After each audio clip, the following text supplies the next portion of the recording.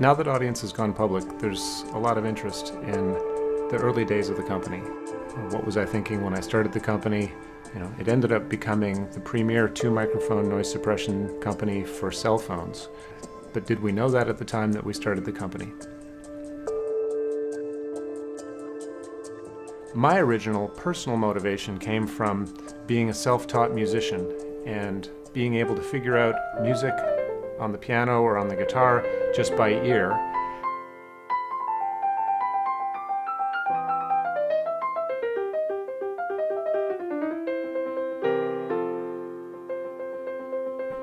Then when I got to university, wondering how is it that I am able to do that? How is it that musicians generally are able to do that? So I started thinking, could we write a computer program that could take in the audio signals and figure out what notes are being played in a complex, complex recording? Now I started working on that in various different ways while I was at university. Uh, and in fact, uh, that was how I ended up meeting Al Crawford. At the very beginning down here, if you took a look at outfits like HP and uh, Tektronix was another one. Uh, to find their key people, they all went into universities and generally hired somebody at the master's level. And to do that, particularly with HP, if you look into HP's background, uh, they had their moles buried in good universities around uh, the U.S. And so I went and talked to my university friends and used them as moles to identify really, really bright kids. And at Queen's University, there was a friend of mine in the physics department named David Atherton. Whenever he got a good student, he'd phone up and say, I have a vintage one. And I'd hired several people who were just superb. And he phoned up one day and he said, I have another vintage one. And so I went to Queens and he said, This is a young chap named Lloyd Watts. He's very, very good.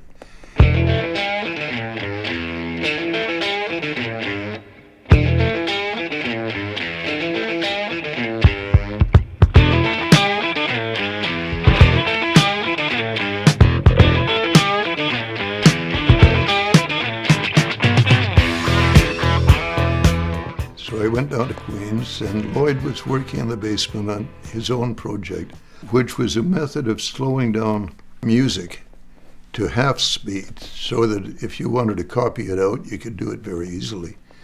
In the normal method, if you did it by tape recorder, you drop the pitch too by, you know, in half, and, which didn't work, and he'd figured a way around it.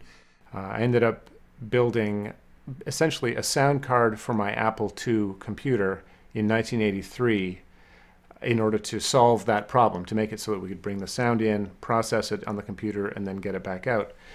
It's important to remember Creative Labs, the people who made the Sound Blaster, turned that idea into a billion dollar business starting in 1987. So, four years later, commercialization of sound cards for PCs really began. Uh, so, at the time, I was actually early. I didn't know that I had built something important namely a sound card for a PC, what I thought I was building was a sound slower downer for my music hobby. Uh, so in fact, it was the first time in my life where I built something that was useful, more useful than I intended it to be. And I missed the opportunity to commercialize it. In that case, it was in fact a billion dollar business that I missed. I thought, this darn clever. So I really wanted to hire him. Uh, but he'd already accepted a job, and fortunately, it was in Vancouver, and that's where I was. So I told him to keep in touch, and he did. So he had the rights to this, and when he came to Vancouver, I said, "Look," he called up and uh, said, "Look, if you want to continue working on that, I have a manufacturing company here with a good engineering department, lots of test equipment." very few people around at night, and you're welcome to come and work at your heart's content on it because then you're working on your own territory. But if you do this, I'd like to see the company get part of the action if you patent it and this thing ever developed. And then I thought, you know, there's a good way of testing them out. I said, why don't you go and write a draft agreement? Because when you deal with uh, academics, particularly, generally they have a totally uh, skewed idea about how valuable their work is.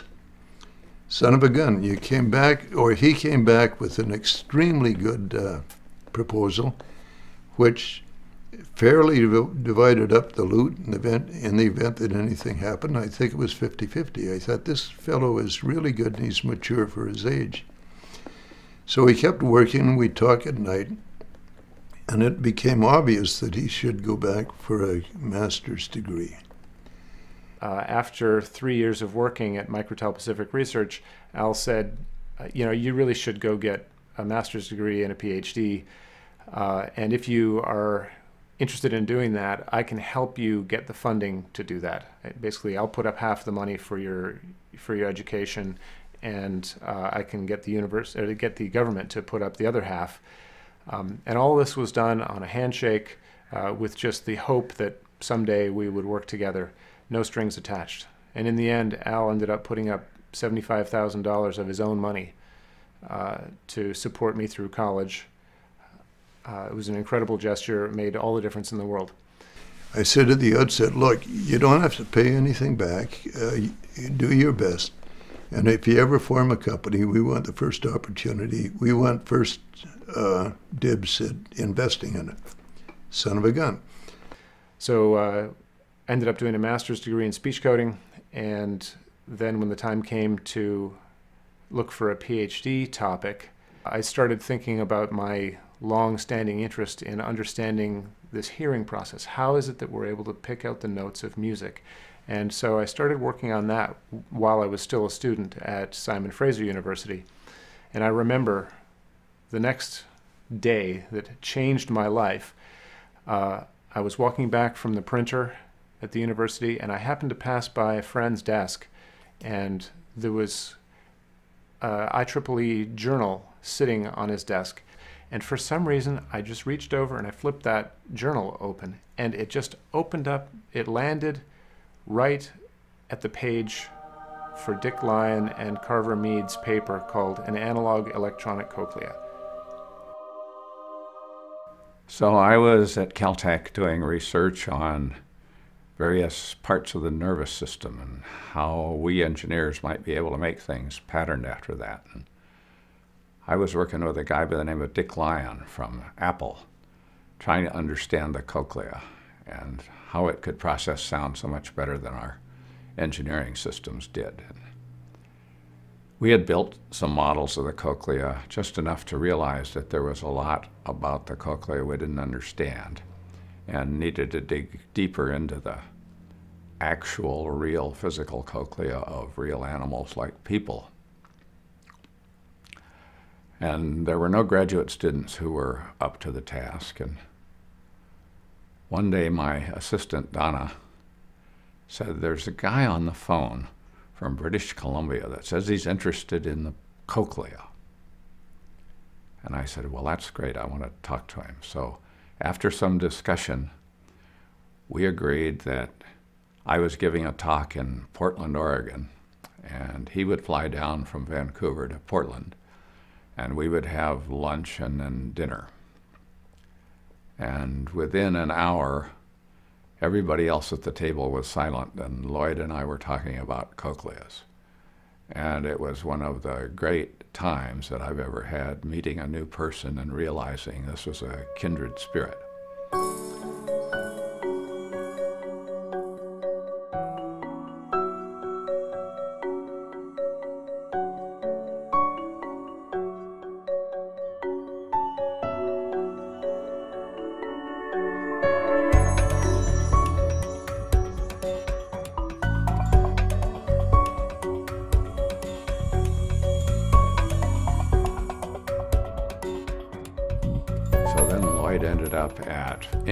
Research. And a few months later, Interval had its annual operating plan review, and there was an opportunity to propose new projects. And I remember thinking, now that that's exactly what I need. I'm going to propose a project to go back to continue the work that I had begun at Caltech, reverse engineering the hearing system, but not with the analog VLSI focus. It was going to be all digital, working on digital machines. Uh, in fact, I was proposing to do custom hardware. I was going to propose to build chips since it appeared that Interval wanted to develop that capability. So the original project was called Spike, and it was going to do hardware design, but digital hardware design for reverse engineering the auditory pathway. Here's an Elton John riff I've been working on actually my spare time, um, but a better display of it.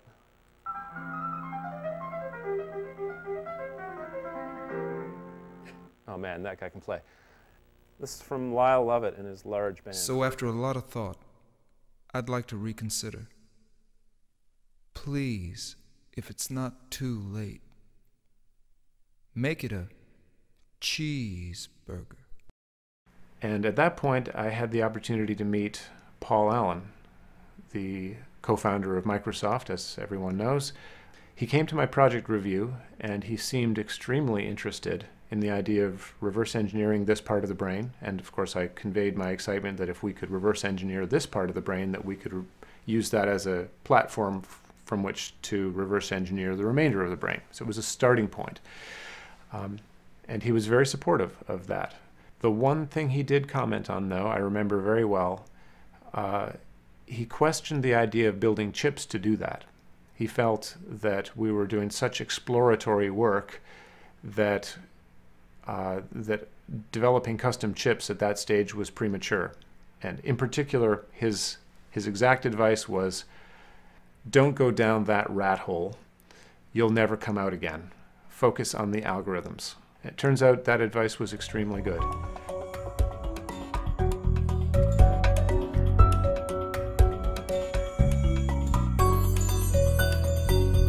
During that period, I established collaborations with neuroscientists Donata Oertel and Bill Rhode and futurist Ray Kurzweil. In 99, my book Age of Spiritual Machines came out, and there were several threads of criticism, uh, one of which was that, yes, Kurzweil is right, hardware is progressing exponentially, but software is stuck in the mud. So I met Lloyd Watson in the year 2000, and he had a already had a model of how a major pathway, the auditory pathway, worked in the brain. He had a block diagram and he was fleshing out these algorithms. And my thesis was uh, we're going to make exponential gains in understanding the brain, and that would fuel the exponential progression in software algorithms. And he actually succeeded in reverse engineering that major pathway uh, and then using that to actually create practical software that would actually bring functions like noise reduction to the, to the commercial market. In the year 2000, the dot com bubble crashed, and Paul decided that he was uh, not willing to fund interval research anymore. So he sent Dave Moore down uh, to represent him. Well, I'm David Moore, and uh, I work for Paul Allen at, uh, at, at Vulcan Inc.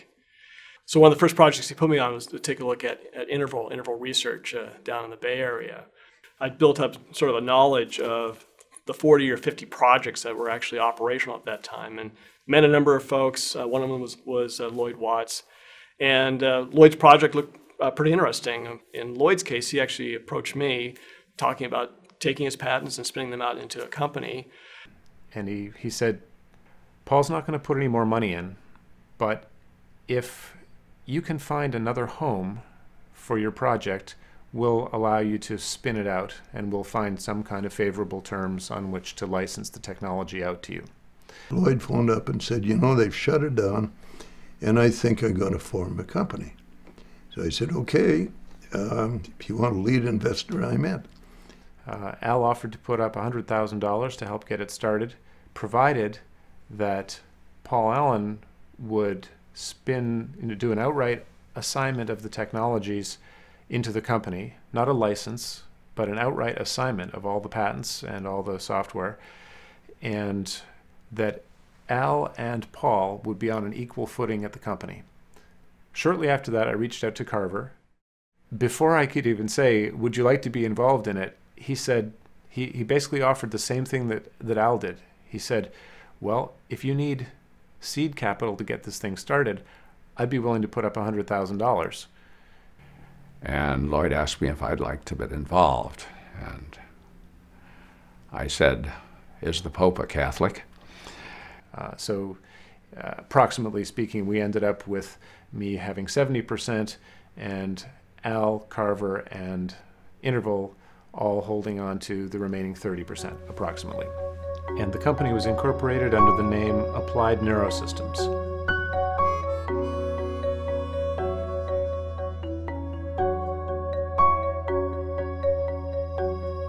So I began working on the business plan with a consultant from Oregon Graduate Institute named Jack Rayton.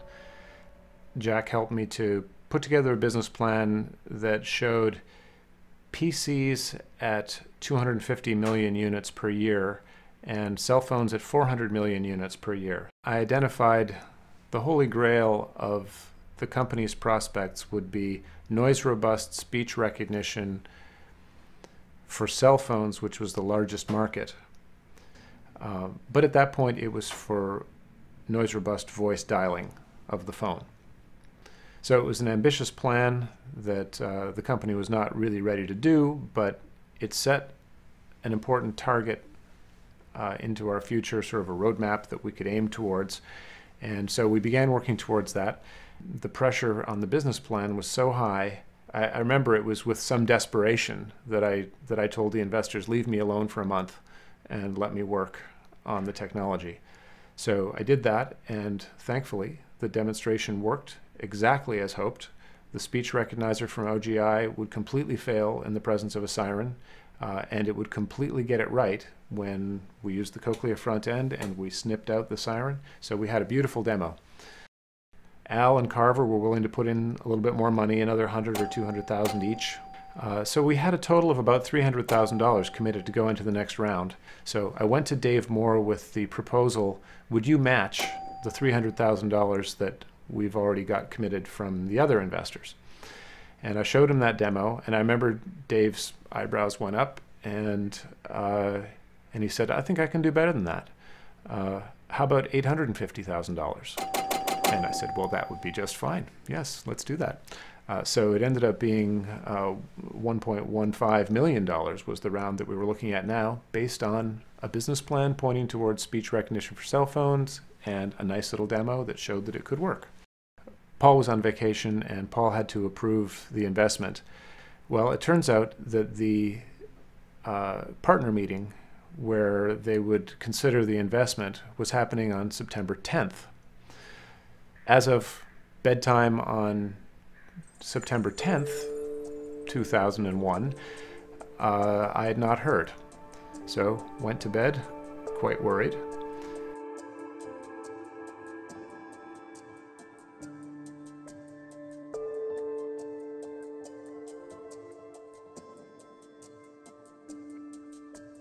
Dave had sent an email late late the previous night that said Paul's interested, but he's not sure. He wants you to come up here and meet with Nathan Myhrvold, who was the former CTO of Microsoft, um, before he would approve.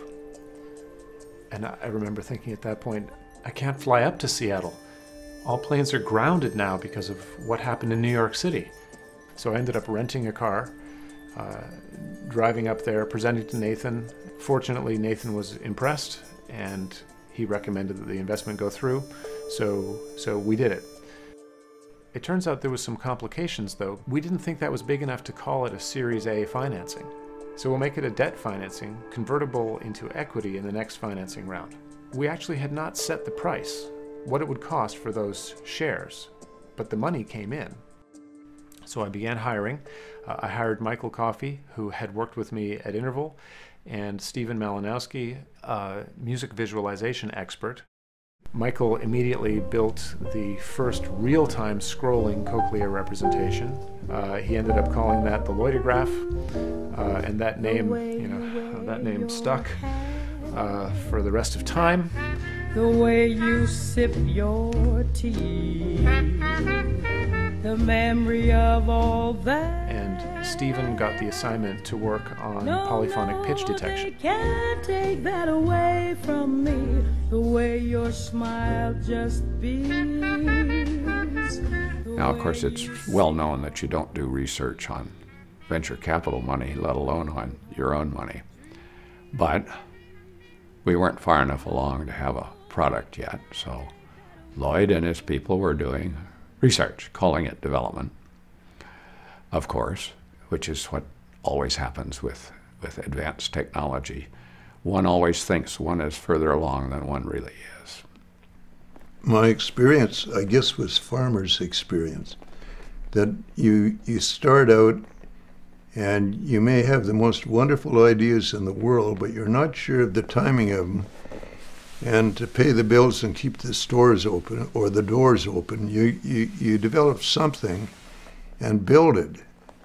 Even if you're losing your shirt, you do that so that you get the experience that finally, when something does break, you're not starting that part of the exercise from scratch. And it was extremely frustrating because the board, I think, saw themselves as quasi venture capitalists and fan clubs. The technology was coming beautifully, but we weren't at all aware of where we could enter in the marketplace as a small company. And by the way, that's a uh, typical thing that happens in advanced technology companies is it becomes a technology looking for a market.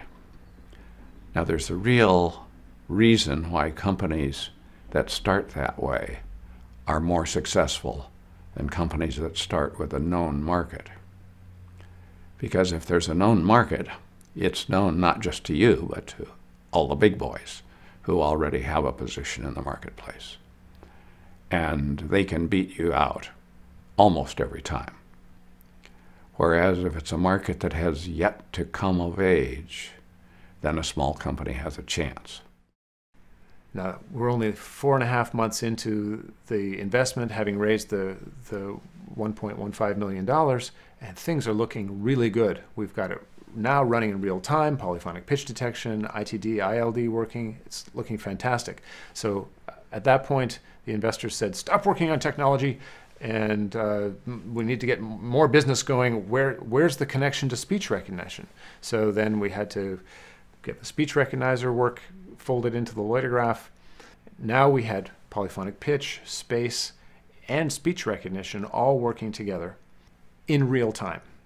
I invited Dave Moore to come take a look and suggested that uh, it would be great to be able to show it to Paul. So we got a visit uh, black, big black limousine pulled up with Dave Moore and Paul Allen in it into our tiny little office in Los Altos. And uh, the third richest man in the world got out and came and took the meeting.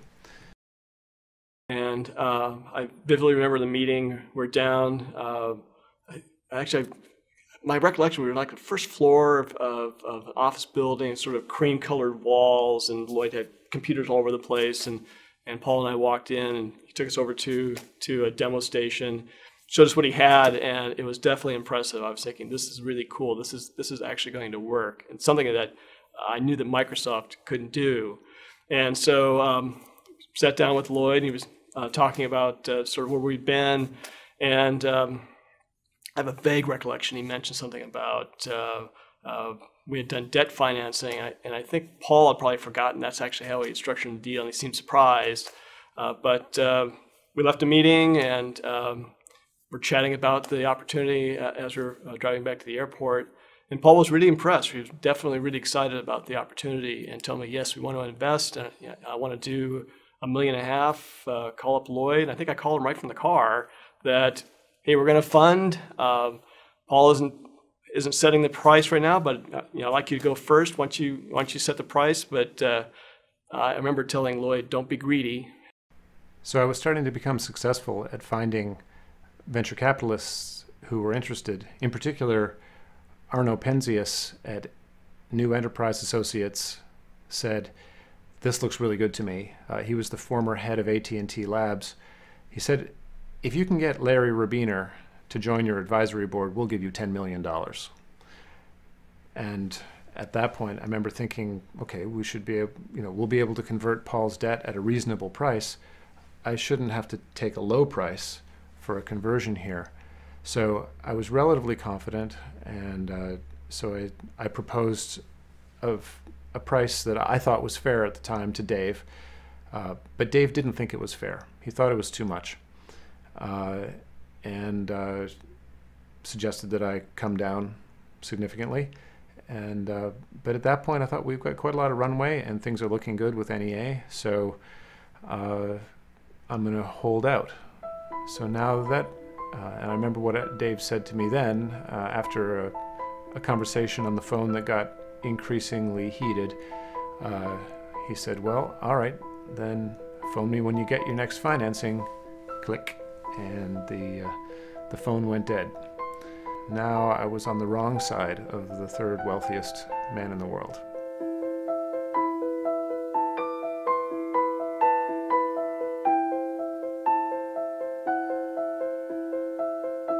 We uh, raised smaller financing rounds, friends and family, but in the end, the speech recognition premise of building the company did not sit well with the venture capitalists. Even though Arno thought the technology was good. When the time came to give a final presentation the end of 2002, the final decision was no from NEA. And the reasoning was Dick Kramlich said, I lost $25 million in a speech recognition company 20 years ago, and I'll never do that again.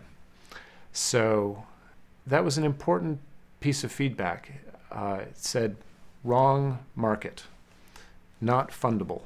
That put me over Christmas time 2002 in a real jam. Now we were out of money. And we didn't have a venture capitalist willing to put up the greater than $5 million that was necessary to convert the debt into equity. So at that point, I had to go back to Dave and say, I'm very sorry that I didn't take your previous offer. And if Mr. Allen would be interested in converting at his previous offered price, I would be very pleased to take that. And Dave said, We'll see you in the new year, which meant basically, we're going to make sure that your company goes into default on the loan and you'll be negotiating from a position of bankruptcy, basically. So uh, that was the toughest Christmas that I've ever had. My company was now bankrupt my lead investor had very good reason to be thoroughly annoyed with me, and I didn't know if the company would survive.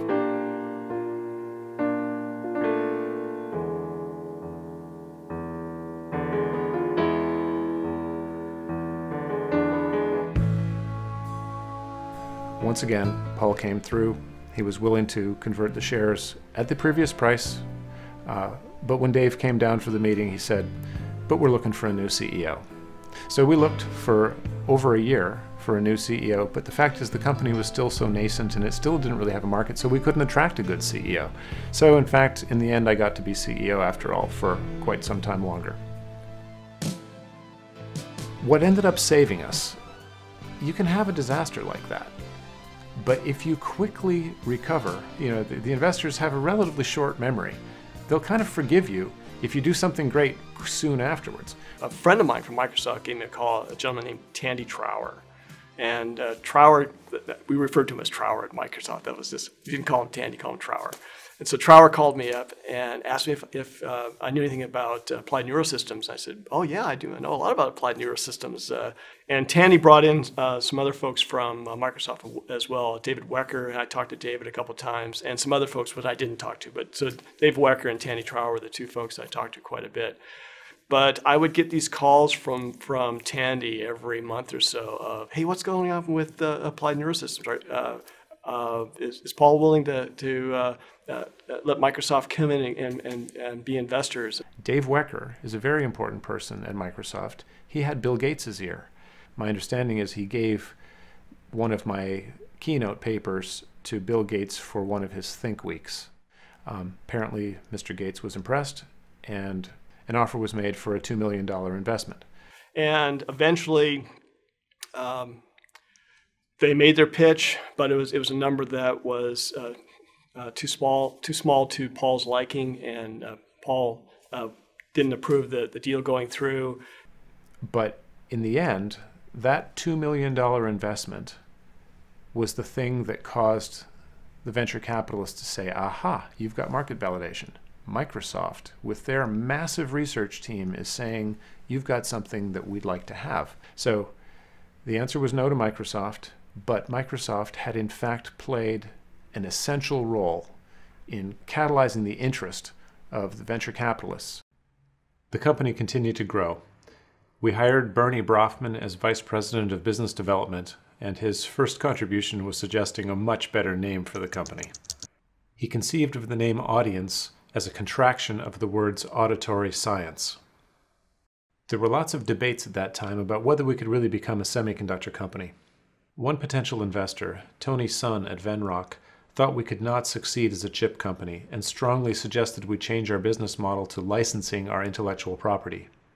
This threw me off for several months until I pitched to George Pavlov at Tallwood, who only wanted to invest in semiconductor companies. We first met, uh, were referred to, Audience and Lloyd, in actually, I remember the date exactly. It was the day after Christmas in 2002 and we read through the pitch, and and uh, it wasn't something that we would normally be interested in because it was Lloyd was in the company audience for going after an intellectual property play, uh, and we were semiconductor investors. But seeing the value in what the company was doing, I sent Lloyd an email and suggested that we have a phone call to figure out if there was a chip play here. And it turned out after that phone call that was originally the path Lloyd was and the company were going down, but did not because he, they were told they wouldn't be able to. Uh, raise capital to do a semiconductor company. I put together a new slide deck for Tallwood in February 2003, which for the first time showed an overview of what the chip product would look like. Two microphone inputs, doing noise reduction based on the human hearing system, with application for both noise robust speech recognition and voice quality enhancement for cell phones. But at that time, the speech recognition application was the primary business focus, and the two mic cell phone voice quality concept was just one of many other things that the technology could also do. George Pavlov uh, did a thorough diligence. It took pretty much a year for Tallwood to decide to invest, but ultimately they did. Uh, and that became our real Series A. I still remember making the internal presentation about why we should do this, and there were certain questions we were never going to be able to answer. And to make this investment, we had to make three leaps of faith. The first leap of faith we had to make was that Lloyd would be able to finish the algorithms. The second leap of faith we had to make that there would actually be a market for what the company was doing. And the third leap of faith was is that there would be scalability to the technology and to the company. Certainly, there appeared to be a recognition that uh, at the end of the tunnel, you could see a market that was real. That took a little bit of time, and the venture capitalists came along and probably served an extremely good, uh, probably a darn good cold shower. They put up their money, and uh, fortunately, in, in this area, people are extremely good and extremely astute, and probably pointed the company to some degree in the right market direction.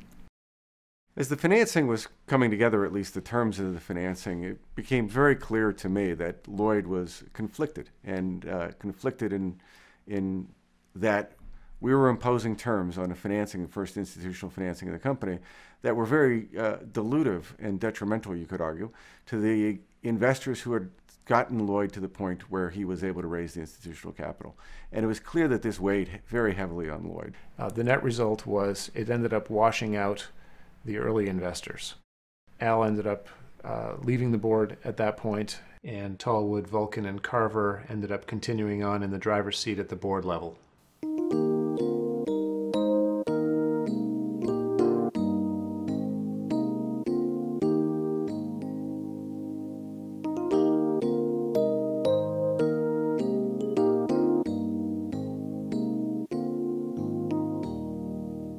Tallwood was taking a pretty hands on approach. They said basically, We think you have a great technology, and we have faith in you, Lloyd, but we don't think that you've chosen the right market.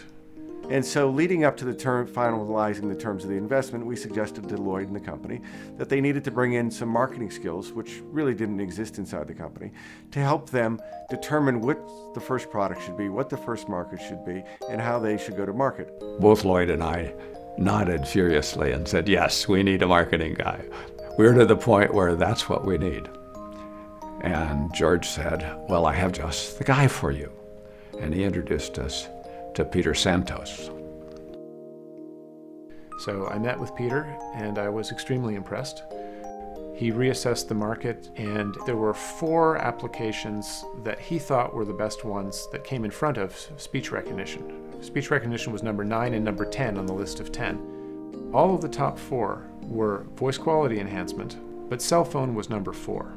And the reason that it was ranked number four, it wasn't that it wasn't the biggest opportunity. It was because it was regarded of the four, it had by far the highest risk. At that point, we simply were not ready to field a low power chip to go into a cell phone. So, what was number one was voice quality enhancement for wireline communications, and the application that we thought was most relevant was the Polycom speakerphone application. We worked on the speakerphone project for about a year, and during that time, Ludger Solbach invented the inverse cochlea transform, which was needed to produce high quality speech.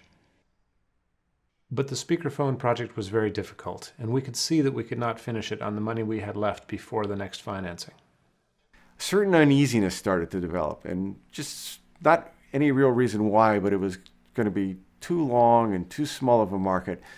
Tallwood began to say, uh, You're not going to make much money on that. Is there some way that you can get quicker to the cell phone market?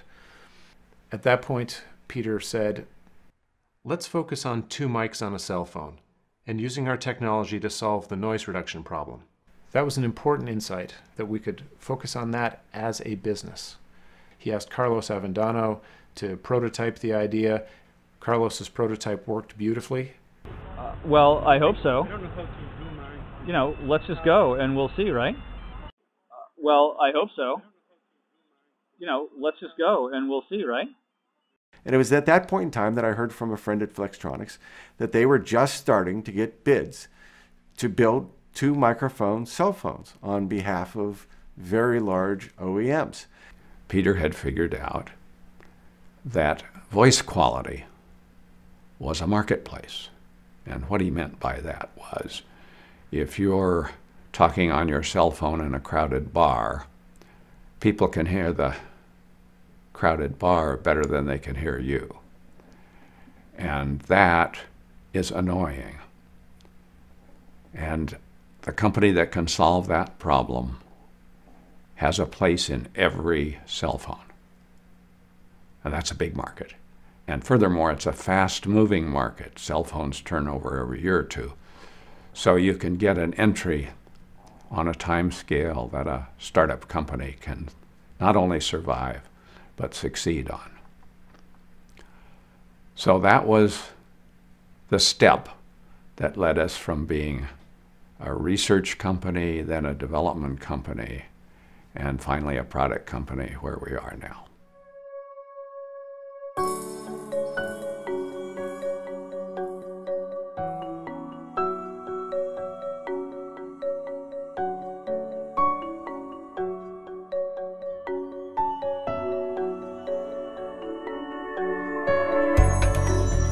Partway through that, Lloyd, who was trying to be CEO and also lead the technical charge, said to the board one day, You know, Peter could do a better job being a CEO than I can.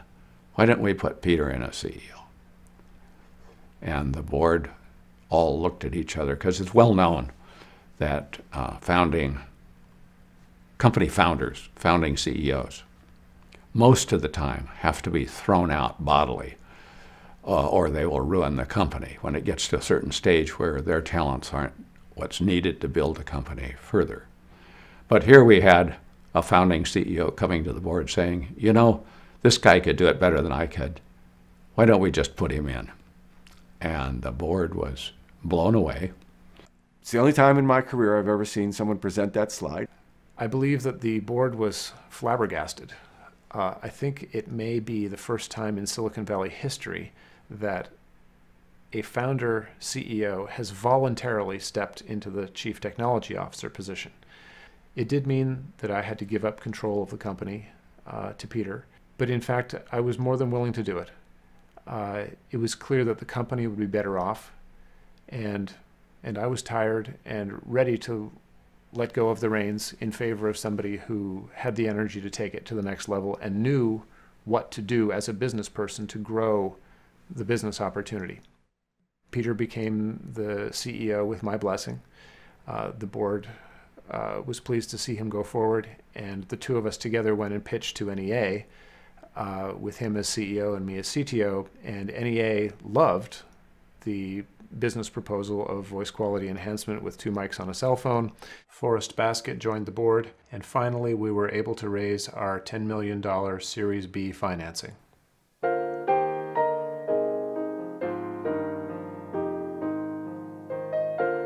That is where, in my opinion, the, the end of the early days of the company occurs. From that point on, we go into chapter two, which is the development of the business, the execution of the business vision that Peter brought to the company, which, as people now know, led to important strategic alliances with AT&T and Google and successful deployment in the most important cell phones, uh, including the Apple iPhone 4 and 4S and the Samsung Galaxy S series. Chapter two of the story is really Peter's to tell, since he was running the company at that point.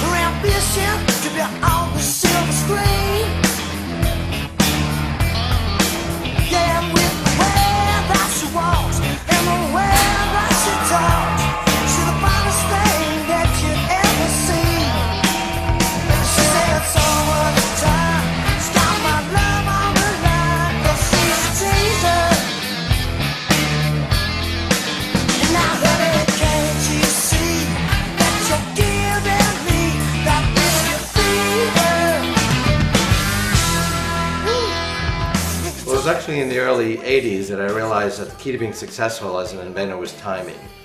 And I didn't think anything was predictable, uh, but you had to make your invention make sense, not for the world you saw, but the world that would exist a few years hence. And that would be a radically different world. I mean, think back now, a few years ago, people didn't use social networks, wikis, and blogs. The world changes very quickly. And I did make a remarkable discovery that the price performance and capacity of every form of information technology progresses predictably and exponentially. So in the year 2000, it did not look feasible to have enough computation and algorithmic sophistication to actually model and deploy these models of a major pathway in the brain like the auditory cortex. Uh, but it would become feasible within a few years. And over that decade, from the year 2000 to 2010, uh, it would become feasible.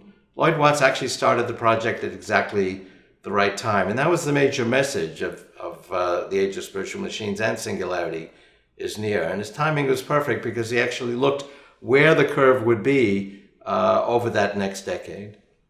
It's very easy to sit here in 2013 and talk about voice processors and what they are. But you forget in 2005, uh, the cell phone market was a completely different place. We didn't have smartphones yet.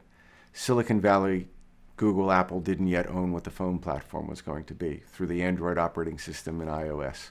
Those were, those were glimmers in someone's eyes, I suspect, at best. So it was a completely different time and place, but we had enough conviction in the market that it was going to occur that we happened to be at the right place at the right time to be able to intersect those markets we believed very strongly were going to occur, and we had validation that was going to be the, the case with technology that would prove to be valuable to those markets. And had audience tried to do this uh, ahead of time, I, I'm not sure it would have lasted. I'm not sure it would have worked. So I guess in summary, there's only one thing worse than being late to the market, and that's being too early. Unfortunately, the company, which is now known as Audience, was there just at the right time. Maybe a little early, but much better early than late. Uh, how do you be in the right place at the right time? Work hard in the right place for a long time. That's how.